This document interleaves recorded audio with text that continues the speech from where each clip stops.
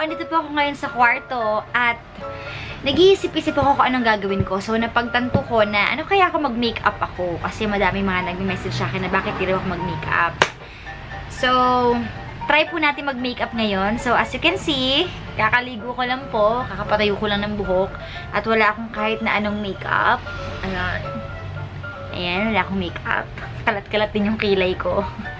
So, eto na, umpisahan na po natin.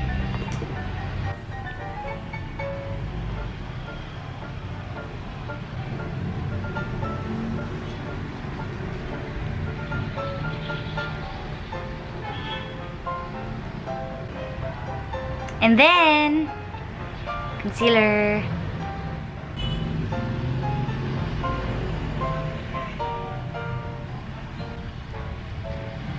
And then, Fanny Serrano.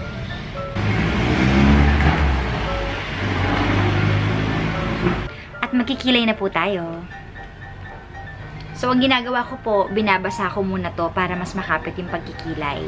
Pero kung gusto niyo lang naman na natural look, okay lang kahit ganito na lang. Pero mas makapit kasi pag may tubig. So, sausog natin siya sa tubig.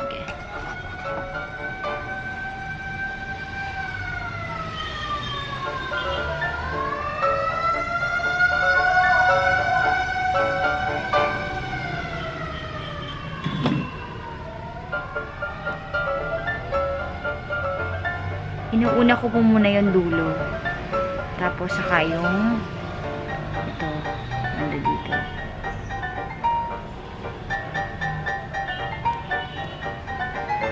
Okay. Kapal po ng kilay ko, ba?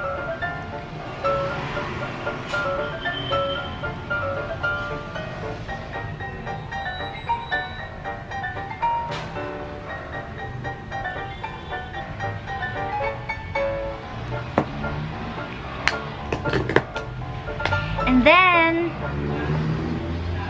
punta na po tayo sa mata. So, sira-sira na po yung makeup ko. Ano to eh? Sira-sira na po yung makeup ko. Pero, push pa rin natin to. Alam niyo, sa totoo lang, mahilig akong magkamay. So, kahit sa makeup, kinakamay ko din po siya. Ganun.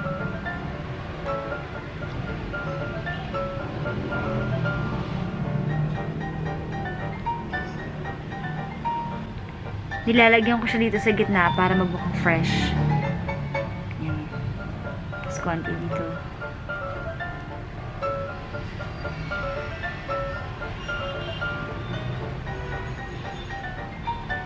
And then, ito yung nilagay ko. Ito yung nilagay ko, guys. So, doon naman tayo sa medyo gold-gold. O, ganyan lang talaga, di ba?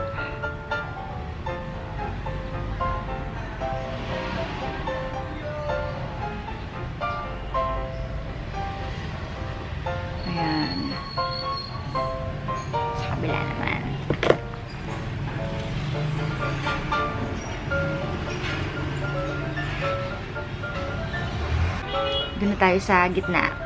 Doon na tayo sa gitna. Dahil nahirapan ako magkamay, gamitan na natin siya ng brush. Ayan.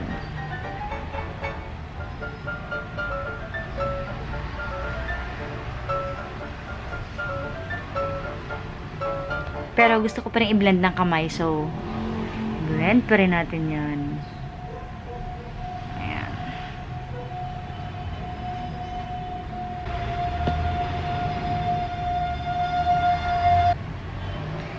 And then, blush on.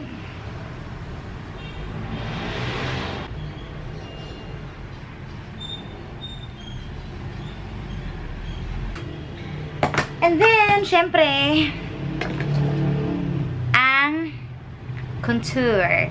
Dahil malaki ang pisngi ko, so contouran natin.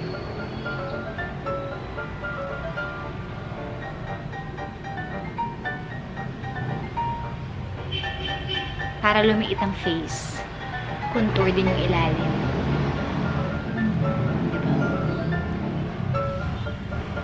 konti dito.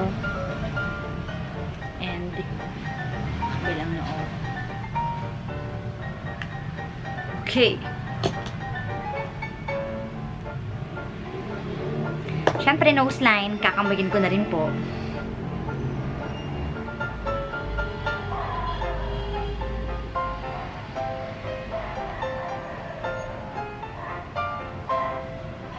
Para hindi magmukhang guhit, ikalat po natin.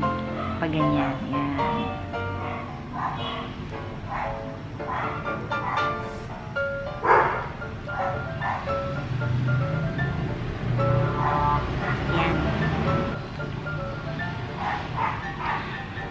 At dahil gusto kong i-highlight yung cleft chin ko na hindi masyadong halata, kaya lalagyan ko.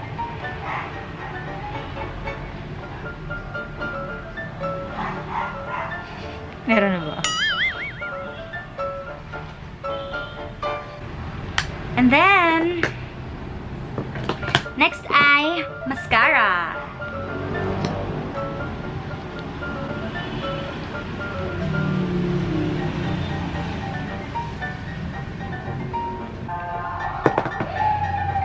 At syempre, lipstick. Ito po yung binili ko sa Malaysia.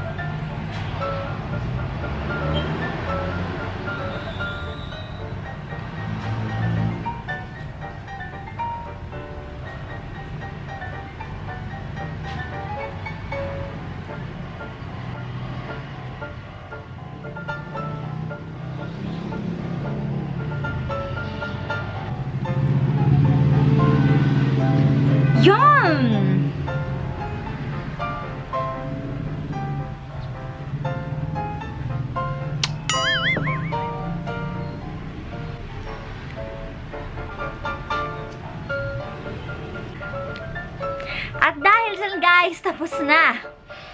Ayan, nakapag-makeup na po ako. Napakabilis lang po ng mga pangyayari. Ayun, so, dahil nakapag-makeup na ako, gagawa naman ako ng content. So, abangan nyo po yung gagawin ko after nito. 20 facts about myself. Abangan nyo yan, ha? Dahil dyan, thank you guys. So, isang patunay lang yan na pwede tayong gumamit ng kamay. Look. Mag-comment na po kayo sa baba at mag-subscribe na kayo sa channel ko.